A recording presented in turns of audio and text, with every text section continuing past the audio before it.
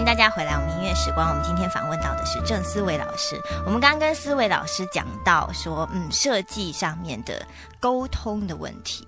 那我想这个就是，不管是设计或像我们做音乐一样，只要东西要拿出去卖，就不是那么单纯说我自己高兴自嗨就好了，对不对？老师你也尝试看到很多年轻朋友，他们有一些作品很棒。对不对？可是他们之后不一定可以成为一个很好的设计师，这是什么样子的原因呢？对啊，我常常在浏览一些网络上面有一些像 Flickr 啊，或者是一些呃放作品的地方啊，看到他们的作品，其实真的会有那种哇，后面的追兵哦，真的是非常的来势汹汹后浪，推前浪啊！对，我们可能我我凭什么还在这个位置上面做做这样子的案子呢？嗯那他们真的是才华洋溢啊，然后做的做的那些实验的东西真的是非常惊人哦，吓死人哦。对，那呃，可是后来我想一下说，这些人呢，将来到了社会上去，可能他要做的事情是被呃很多的框给框住的啊、有很多的、对像什么有预算的问题呃啦，或者是目的性啦，或者是市场性啦、嗯。这些东西，那你有没有可能在这些框架之之下做最大的发挥，嗯。就变得很重要。那当然，很多的呃年轻的设计师就就在这样的过程当中挫败。嗯。像我在外面呃演讲的场合结束之后，他们、呃有一些年轻人就会问一些问题啊，说为什么客户要的东西都很丑啊，或者是呃怎么样推销自己的设计啊之类的问题。显然他们在这部分碰到很大的嗯。的困难。对，我想在音乐上我们也是。是啊，常常有时候像我常帮金代做，金代是我们蜂巢的音乐总监，做音乐。他说你这个太复杂了，我说会吗？我觉得还好啊。他说你就把自己当白痴去做就对了，就真的是不是说我觉得好的东西，就真的是适合大家。对，那也不能说是真的那个程度上的差异，不不能这样讲，而是大家的生活可能已经很复杂了，他可能希望听到一个很轻松的东西或怎么样这样子，所以我们变成真的像你讲的目的性很重要。我不知道老师你本身也是科班出身嘛？我不知道在设计系，因为很多我们现在很多不管说是资讯传播、大众传播都有设计系，等于跟设计相关的科系，他们到底有没有教教小朋友，就学生们设设计上面的沟通，或人跟人，或者是商业上面的取向，有没有这些课程？因为我教的系刚好有呃三个不一样的，但是都样一样要做设计的。嗯比方说，我教了数位媒体设计系，嗯我教广告系，嗯我也教应用美术系。那这三所学校的科系呢不一样，但是里面的学生就就真的都不一样。啊像数位媒体设计系这一些进到这些科系来的的背景是什么呢？就是看看电、看漫画，或者是打电动，或者看动画，呃，这种比较比较宅一点的啊、嗯，他就沟通这个部分真的就很弱，很弱，非常弱。那印美系呢，它还比较是视传那个部分。那呃，我觉得在中间，那广告系是最活泼的。嗯，广告系，而且他们的训练呢，就是什么提案啦这些部分呢，都，都跟人比较有关系。对，然后呢，其实广告本来就是一个改变人家想法的行业，所以呢，三个不一样的科系培养出来的学生，在沟通、传达、表达的这个部分呢，就就差异性就很大。嗯，那我每次去广告系上课呢，那些学生就非常的活泼。嗯，好，比方说你点名，他就会给你各式各样的答有的方式。对，然后呢，你讲任何一个笑点，他就会给你一个很大的 feedback，、那那个成就感是不一样的。所以老师你这么冷的人去的也是可以适应的很好。因为他们都觉得我很幽默。对他他就把那个气氛给大家就给他炒热之后呢，大家就很嗨这样子。嗯，对，那我我觉得跟客户沟通呢，其实就是要解决客户的忧虑，你要了解客户到底在担心理忧什么，学也很重要。是，对他到底在担心什么事情、啊？那你只要能够安抚到那个部分，比方说你提案的时候，不要只提一款啊，你提一个他可能他会要的东西，嗯，然后你再提一个比较级，对你再提一个你比较想要的东西，嗯。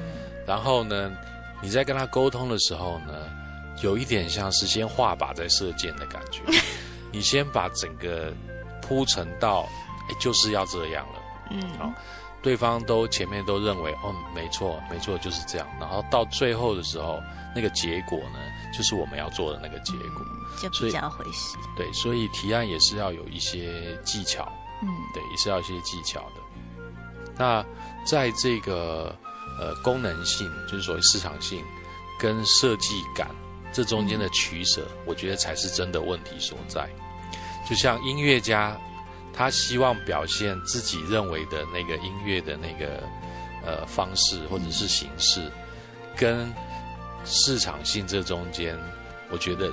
我觉得那个已经不是沟通的问题，那是口味的问题，对，或者就是跟着时代都在变。对，或者是认知，你你对音乐的认知，或我对设计的认知的问题。嗯尤其是呃，以前就反正大家就是做嘛，就是赚钱，嗯就是帮客户解决问题，我做一个很好的服务，嗯啊，设计服务，对，真的是服务。，对。但是现在不一样了，现在就是可能一定有一定的年纪了，讲话比较大声，对？那个服务的那个部分呢，可能就年轻人来做。嗯那那我们到底应该要做什么东西呢？这其实是比较大的问题。嗯，对，我我我们去做，我像我们做广告配乐也是真的是这样，就跟你刚刚讲的是一样，就真的最好是提两个，嗯，然后先呃导演可能可以先选，然后导演再用这两个去弄一些什么东西，然后再给客户选，然后在旁边敲一些边鼓啦，就对哎我们比较喜欢这，因为这可以表现什么什么什么，客户就觉得哎对对对，啊这我之前没有想到，他就会很开心。对。那如果呢，你的提案呢是完全，你就明明知道客户会喜欢这样的东西，但你完全提另外一个方向，那你的挫折就会很大。你最好是能够有一部分满足了他，但是呢，你可以提出更更先进的东西，你也可以说服他说，你这东西要放很久的，那我给你的美感是未来的，你现在可能不能接受，但是呢，未来呢，这个东西可以留的比较久，类似之类的。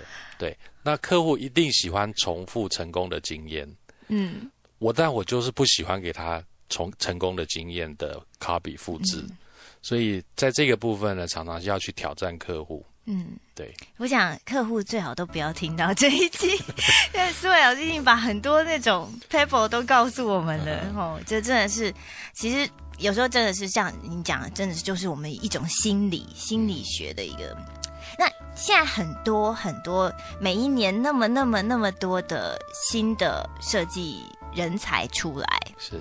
真的是真的是很多都还没有推出去就死在沙滩上，就像老师讲那样，很多他没有办法妥协或没有办法、呃自己说服自己，他可能就没有办法在这个行业说是可以做到一个什么样子的地步。而且现在小朋友很常常嗯就尤其是科班毕业，他到了一个公司，他会觉得这个公司，我觉得他要我做的我都会了，我学不到东西，我就赶快跳另外一个公司，或甚至有有时候是其他的原因，做的东西我不喜欢，或做的厂商我觉得不好，他就会换。那老师你提到说你你自己的公司很喜欢用非科班的小朋友，嗯哼这是有什么样子的不一样？嗯，科班的比科班的呢，他比较有一个明确的目标。嗯那这个目标呢，他可能就是，比方说他毕业之后，他想要呃到某一个公司去，然后学东西，学一学之后，他觉得说他应该可以怎样，可以怎样。对嗯那我用非科班的原因，是因为他们就像一张白纸一样，嗯然后呃，我可以给他我们公司的文化，然后呢，我们想要的方式，然后呢，而且他们说真的就是比较不会很浮动，就愿意待，因为真的像我们这样子的小公司呢，都很辛苦，都蛮辛苦的，真的。那当然，呃。虽然他们接可能可以接接触一些不错的案子，但是大部分的时间都是非常有纪律的在做事情。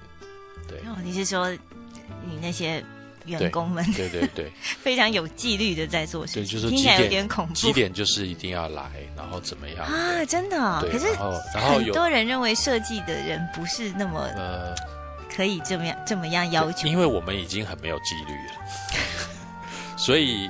比方说，客户打电话来找不到人这些事情哦，我们就必须要有有有纪律的员工来帮我们 cover 这些部分。嗯，那我们可能就，比方说我上课也忙，然后反正也是晚睡晚起的人。那如果我们公司再没有有纪律的员工的话，那就麻烦了。对他们要很能够有自制力，我们也不打卡，但是你几点就是来就对了。嗯，然后呢，呃，东西赶不完就是要把它做完。对，嗯，所以是打卡时间是固定，下班时间不固定。我们没有打卡，但是呢，他这个时间一定要来就对了，就是一个很自制的的方式。嗯，你你你比较晚来，我也不知道，因为我们比他还晚来。但是事情要有人做，对对对对对。嗯，那他们比较认命，比较 比科班出来学生比较愿意愿意待的久。这这这个这个就是以一个当老板的心态，就是希望是这样子的员工。嗯，对。那如果在设计这个行业，呃，我不知道非科班的学生们，他们想要进入这个行业，他的门槛会不会很高？他需要具备一些，因为他们没有在学校学嘛。那可是现在这些城市啊或技术，其实是可以自己学的。对。那他需要具备一些什么样子的能力呢？嗯，其实。非科班的跟科班的呢，有好用跟不好用的地方。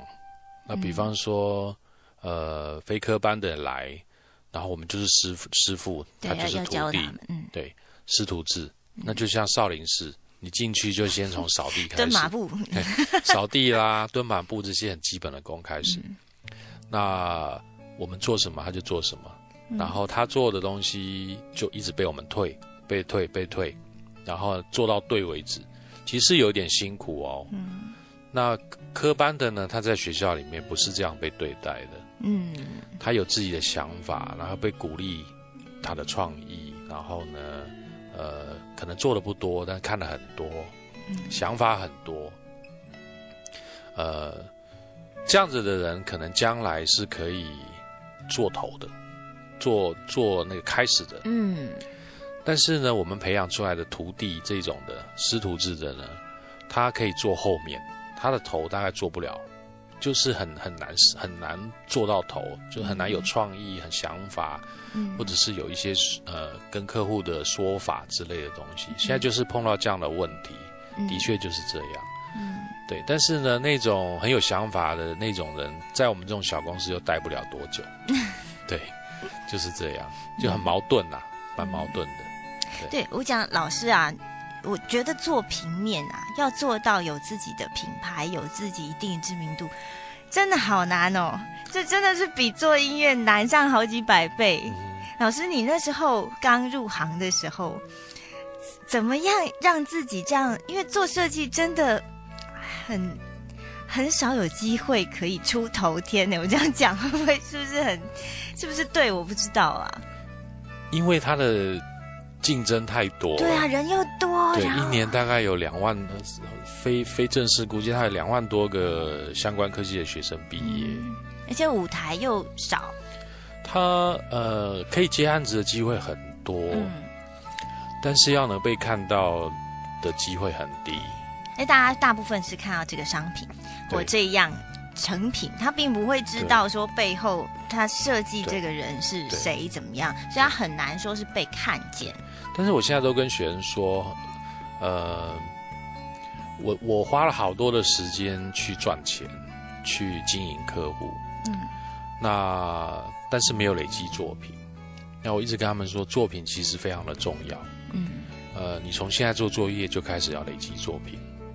呃，还有呢，有一些人适合走比较艺术的那条路，嗯，但那条路可能就是自我风格比较品牌的这个自我品牌的路，对，但是这个路呢比较难走，比较长，比较漫长，嗯。因为你可能就就喜欢做这样的事情，别的事情你做不来，那你只能够做你喜欢做的事情，把它做做得很棒很好，但是别的事情你可能没办法做。就像我跟学生说，你要做一个风格设计师，还是一个专业设计师？嗯 这两个是不能并存的吗？呃，有点路线上面呃的问题。比方说，风格设计师就是呃，你就是这样的东西，你就只会做某一类的东西。客户要这一类的东西来就找你，来找你，但你的机会并不多。嗯但是一个专业的设计师是，你想做的，你喜欢的可以做得好，你不喜欢做的，你还是可以做到一定的对，水准程度，程度。但是这样子的设计师就不太会累积一一种风格，嗯所以呢，这是一种路线的选择。嗯那你如果要走风格设计师，你可能会孤独，可能会有一阵子没有饭吃对，很长的时间。但你如果能够熬得下去，嗯坚持得下去，然后你不放弃，有可能有一天会被看到对，会被看到。而且当你被看到了之后，你的那个回报呢，是大过前面那些呃，嗯就是接案接很多啦，感觉很专业的设计师，嗯真的。但是就是这是一个赌注，这件事会让我我会好好思考。真的吗？我们待会回来。